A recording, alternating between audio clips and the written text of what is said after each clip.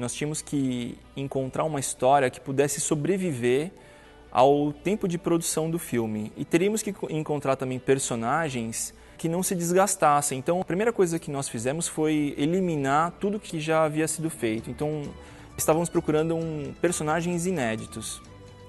Aí, casualmente, surgiu o tema minhocas e a gente achou que minhocas era, primeiro, uma coisa que está embaixo da terra, então existe uma, uma mística do que acontece ali embaixo.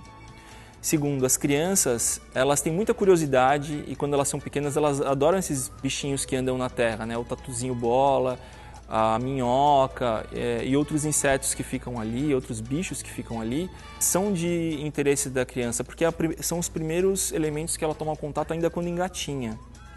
Né? Então, isso estava, de alguma forma, associado ao interesse da criança. E terceiro, não havia sido feito nada de consistente de minhocas para o cinema e nem para a TV. Então era um, era um excelente ponto de partida para a gente começar um, um projeto. Para decidir a história do longa, nós pegamos, montamos uma dinâmica, nós fomos num condomínio onde tinham vários prédios e nós projetamos para as crianças daquele condomínio o Curta das Minhocas, esse curta de 15 minutos. E depois de assistir esse curta, nós fizemos uma dinâmica com, com as crianças do, do condomínio. E dali já saíram os pontos principais do roteiro que a gente está assistindo agora nos cinemas, né, do Minhocas.